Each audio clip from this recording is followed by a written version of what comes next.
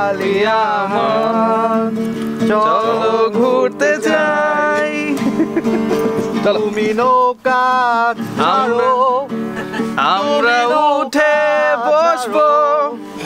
তুমি নৌকা ছাড়ো ইঞ্জিন এখনও কেন চলে নাই?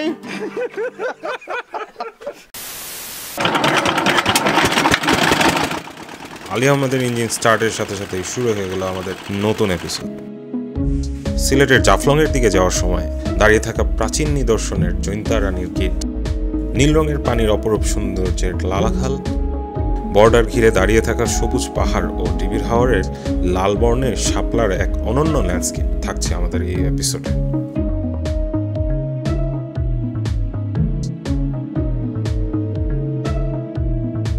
ঢাকা থেকে সিলেট যাওয়ার জন্য বাস এবং ট্রেন দুটোই সহজলভ্য। এছাড়াও যাদের অনেক টাকা আছে তারা প্লেনেও আসতে পারেন। যাদের আমার মতো সাময়িক সময় টাকা থাকে তারাও প্লেনে আসতে পারেন।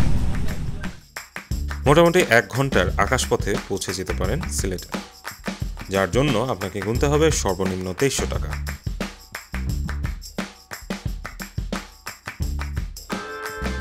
জি ইনি এনার কথাই বলছিলাম। ইনি সেই মোহাম্মদুল আহমেদ। জাস্ট একটু নামটা মনে রাখেন। এনার ব্যাপারে পরে বলছি আবার। মোহাইমিনুলের বাসায় সারা রাত আড্ডা দিয়ে সকালবেলায় শুরু হলো আমাদের যাত্রা। আহা, সিলেট শহর। খুব পছন্দের একটি শহর। রাস্তার ধারে শহরের বিভিন্ন উল্লেখযোগ্য স্থান এবং চা বাগান দেখতে দেখতে দেড় ঘণ্টা পর পাই একটা ব্রিজ যার নিচ দিয়ে প্রবাহিত হয়ে গেছে নীল বর্ণের পানি।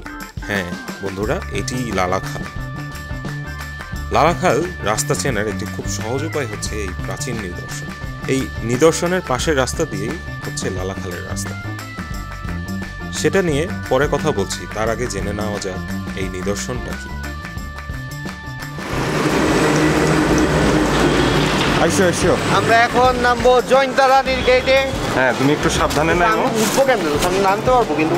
এটা কোনো ব্যাপারই না এটা কোনো ঘটনাই না এগুলো কোনো অ্যাডভেঞ্চার না।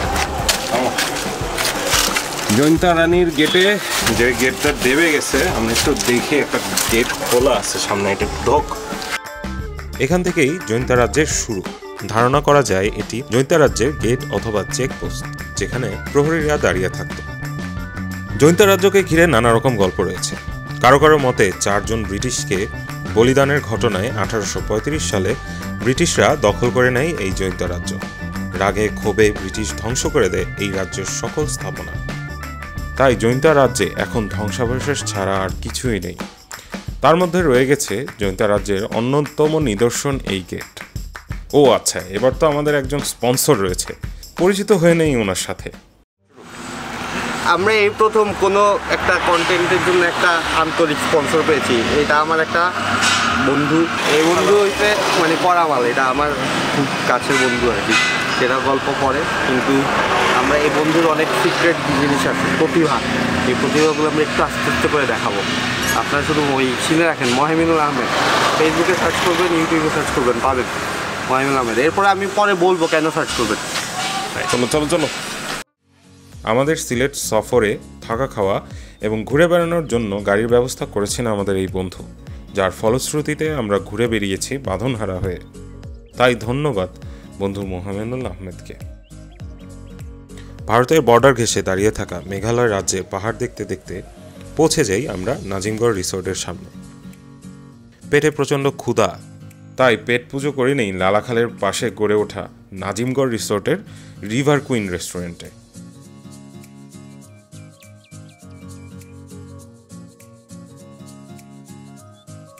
আহা, লালাখাল, সেই পরিচিত লালাখাল।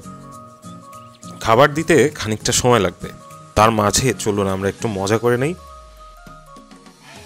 আমরা এখন লালাখালে আসছি। লালাখালে নাজিমগড় রিসোর্ট সবাই জানে লালাখালের নাজিমগড় রিসোর্ট সম্পর্কে। ওখানে আমরা আসছি। এখানে আমরা এখন লাঞ্চ করব কারণ আমরা খাই নাই সকাল থেকে কিচ্ছু। তো এই কারণে এখন এখান থেকে লাঞ্চ করে তারপর আমরা লালাখাল অভিযানে যাব। আর ভিউয়ার্স শীতকালে সিলেটে আসার পিছনে যে মেইন উদ্দেশ্যটা সেটা হচ্ছে হচ্ছে গিয়ে যে এই লালাখালের পানি। লালাখালের পানি হচ্ছে শীতকালে কমপ্লিটলি এরকম সায়ান টাইপের একটা কালার হয়ে থাকে যেটা অন্যান্য সিজনে এর আগে আমরা হচ্ছে গিয়ে দুইবার লালাখালে আসছি বাট এরকম পাইনি। তো শীতে এই প্রথম আসলাম লালাখালে আর দ্য ভিউ ইজ অ্যাবসলিউট আমাদেরকে একজন প্রশ্ন করছে এটার নাম লালা খাল কেন? এটার কালার তো সবুজ। এইটার উত্তর আপনারা কেউ জানলে দিয়ে দিন। বলো। এটা হচ্ছে টিএমসি টিএমসি মানে হচ্ছে টু মাচ কস্টলি এটা হচ্ছে রিভার কুইন রেস্টুরেন্টের মেনু একটা সিম্পল এক্সাম্পল দেই এগ বুনা দুই পিস এটার দাম hundred plus plus 790 plus plus so আমি অর্ডার দিছি। আমাদের স্পন্সরশিপ অর্ডার দিয়ে দিছে এখানে আর কিছু বলার নাই। ও আচ্ছা না এই খুবই চিপ খুবই ভালো রেস্টুরেন্ট খুব ভালো। ওকে একটা। ধন্যবাদ দাও স্পন্সরশিপ। ও এটা তো শুরু। এখন আমাদের তো জীবনে আরও অনেক কিছু দেওয়ার বাকি আছে। এই আর কি। ওফ, একদিকে পেটে ক্ষুধা আর অন্যদিকে লালাখাল খাবার দিতে আরও কিছুক্ষণ সময় লাগবে। তার মাঝে ছোট করে লালাখালটা ঘুরে আসি।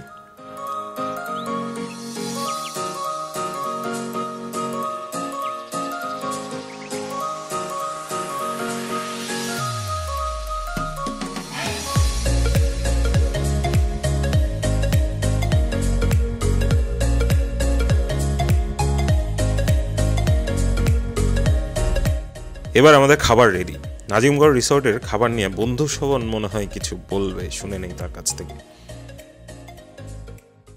আমরা এখন ভাত দিয়ে টমেটো ভর্তা এবং মুরগি খাব। টমেটো ভর্তা?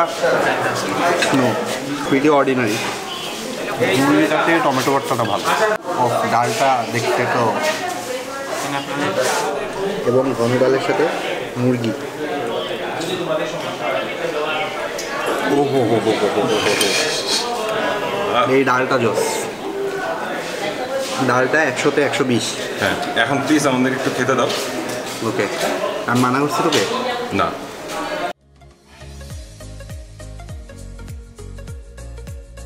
ভোরের সাইজটা আরও দুই ইঞ্চি বাড়িয়ে পাঁচশো টাকায় এক ঘণ্টার ইঞ্জিন চালিত নৌকা ভ্রমণের চুক্তিতে আমরা উঠে পড়ি আলী আহমদের নৌকায়।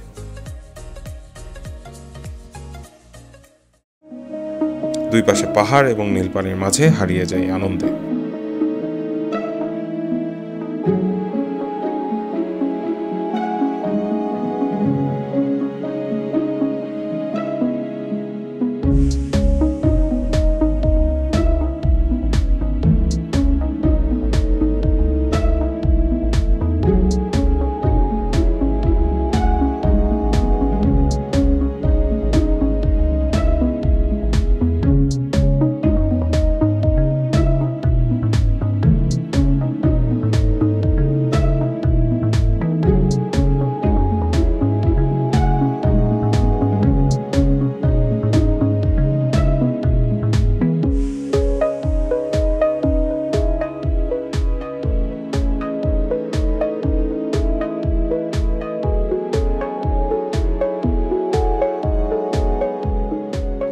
সকলের দৃষ্টি আকর্ষণ করে বলছি, কিছু সময়ের বিনোদন যেন বড় বিপদ ডেকে না আনে। তাই, যারা সাঁতার জানেন না, তারা কখনোই লালাখালের পানিতে নামার চেষ্টা করবেন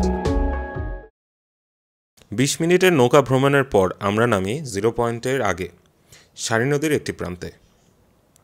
সো লেডিস অ্যান্ড জেন্টলম্যান আমরা হচ্ছে নৌকা এক ঘণ্টা হিসেবে ভাড়া করছি। ভাড়া করে একটা স্পটে আসছি। যে স্পটটা হচ্ছে গিয়ে কিসের মতো? নিজেরা দেখে বলেন জাফলং বিছনাকান্দের সাথে মিল আছে কিন্তু পাথর নাই। আর ছোট ছোট মানে পানির হাইটটা এখানে কম সবাই দেখে এখানে পাটা দিয়ে মানে ফিল নিচ্ছে ঠান্ডা পানির ফিল আর আমার বন্ধু সোহন ঠান্ডা পানির ফিল নিচ্ছে নিচে ও বলবে। আমি গরম বালুর ফিল নিচ্ছি। পানি অনেক ঠান্ডা এই কারণে এখন গরম বালুর উপর দাঁড়ায় আছি। ইয়া এই যারা ধরেন আমাদের তো মেঘালয়ের কন্টেন্ট দেখছেন যারা আর ওই সোনেং পেডিংয়ের যেই ক্রিস্টাল ক্লিয়ার ওয়াটারের একটা ভাইব আছে এখানে ওইটা আছে। শুধু ডিফারেন্স একটাই নিচে পাথর নেই। এখানে হচ্ছে পুরাটা বালু। আর পানিটা অনেক পরিষ্কার। পানি হচ্ছে একদম নীল আর কি।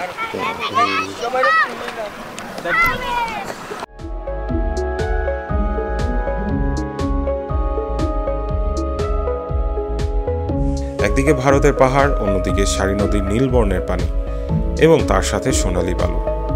আহা কি অপরূপ দৃশ্য? এখানেই শেষ হলো আমাদের লালাখালের অভিযান। আমাদের হাতে কিন্তু আরেকটি স্পট রয়েছে, যেটা ভ্রমণপ্রেমীদের কাছে এখনও অতটা জনপ্রিয় হয়ে ওঠেনি।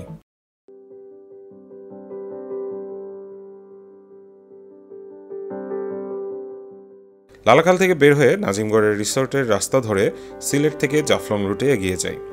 জৈন্তাপুর বাস স্ট্যান্ড পার হয়ে একটু সামনে এগুলেই দেখা যাবে, জৈন্তাপুর বিজিবি ক্যাম্প। সেই রাস্তা ধরে মেঘালয়ের পাহাড়ের দিকে এগুলেই দেখতে পাওয়া যাবে একটি হাওর যার নাম ডিবির হাওর।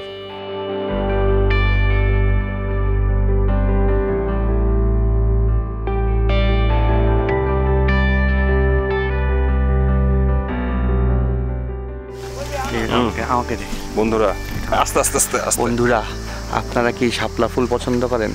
শাপলা ফুল পছন্দ করলে আমি একটা অসাধারণ জায়গা নিয়ে আসছি আপনার জন্য। এই যে শাপলা ফুলের বাগান। ডিডিং ডিডিং ডিডিং এটা হচ্ছে গিয়ে ডিবির সেটাও সেটাও ইম্পর্টেন্ট ইস্যু না। শাপলা ফুলের বাগান থাক অনেক জায়গায় দেখতে পারবেন। কিন্তু এর থেকে ঢাকার আশ্চর্য- আশপাশেও আছে। কিন্তু আশ্চর্যজনক কি জিনিস হচ্ছে? পিছনের মেঘালয়ের পাহাড়। আর হচ্ছে এই আর আরও আশ্চর্যজনক হচ্ছে এই যে আমার পিছের মানুষটা হ্যাঁ। সালেম। দেখছেন কত বড়? ঠিক আছে ঠিক আছে থ্যাংক ইউ থ্যাংক ইউ কত বড় হ্যাঁ, দেখছেন হ্যাঁ, কত বড়। হ্যাঁ দেখছে মানুষটা নাও। শীতকালে ডিবির হাওরে খুব ভোরবেলায় বড় বড় লাল বর্ণের শাপলা ফুল ফোটে। একদিকে মেঘালয়ের উঁচু উঁচু পাহাড় এবং অন্যদিকে লাল শাপলার বাগান। এ যেন এক স্বপ্নপুরী। ডিবির হাওর হতে পারে আমাদের দেশের পর্যটন শিল্পের অন্যতম স্থান। এর রক্ষণাবেক্ষণের দায়িত্ব আমাদের সবার।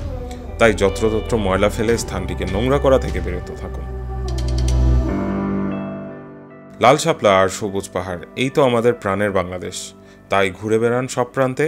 আর আমাদের সাথে ট্যুর দিতে চাইলে অবশ্যই আমাদের ফেসবুক পেজ অথবা গ্রুপে চোখ রাখবেন। এই এপিসোডের গানগুলি যদি আপনাদের ভালো লেগে থাকে, তাহলে অবশ্যই বন্ধু মোহেমিনুল আহমেদের চ্যানেল থেকে ঘুরে আসতে ভুলবেন না। ধন্যবাদ বন্ধুকে একটি গানে গানে মুখরিত ভ্রমণ উপহার দেওয়ার জন্য।